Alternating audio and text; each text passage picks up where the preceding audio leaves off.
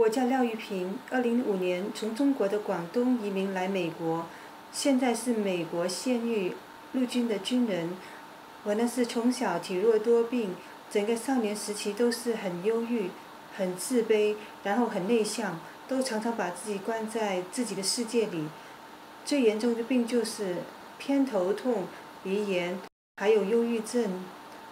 每次偏头痛发作的时候，我都想把自己的头往墙上撞，因为确实痛得很厉害。我也吃过很多药，看过很多医生，都没有办法根治我这个偏头痛，就是影响我的工作学习，造成了我睡眠质量不是很好，经常失眠。鼻炎也是令我很烦恼的一件事，因为二十来岁的年轻人还经常流着鼻涕，很。很尴尬，很难堪，也没有找到很好的治疗鼻炎的药物和方法，这个病就一直从小伴随着我到二十来岁。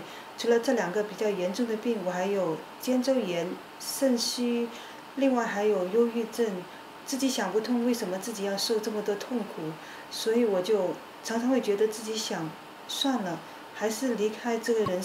就在我感到非常绝望、非常痛苦的时候。一个偶然的机遇，也许是佛菩萨的安排吧。我在一九九三年就遇到了紫光上师，我跟随紫光上师修学光环密宗密法，在短短的一个星期内，我的偏头痛就消失了。我感到非常的神奇，而且非常的开心，因为偏头痛确实困扰了我很多很多年，也让我十分的痛苦。在这半年内。我每天坚持修持光环密宗密法，我的肩周炎、鼻炎、失眠，还有忧郁症也逐渐的消失。我感觉到遇到上师是我人生中最大的转折点。世子光上师给了我重生的机会，使我拥有健康的身体。自从修炼了光环密宗后，到现在我几乎都没有去医院看病、打针吃药，这也是非常神奇的。也为我节省了非常可观的医疗费。自从修炼了光环密宗以后，我变得积极开朗，容易接受外来的事物，有了做人的意义和方向。所以我非常感谢紫光上师。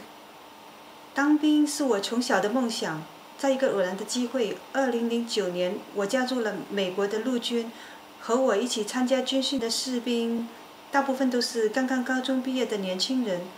我以三十六岁的高龄，与新兵们同时完成了三个月的新兵训练。若是在没有参加光环密宗以前，我是绝对没有勇气去接受这一项体能和心智的挑战。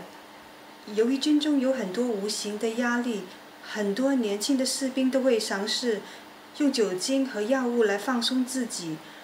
如果他们能有机会修炼光环密宗，聆听紫光上师讲法，那就可以用秘法去消除自己身上所遇到的压力和烦恼。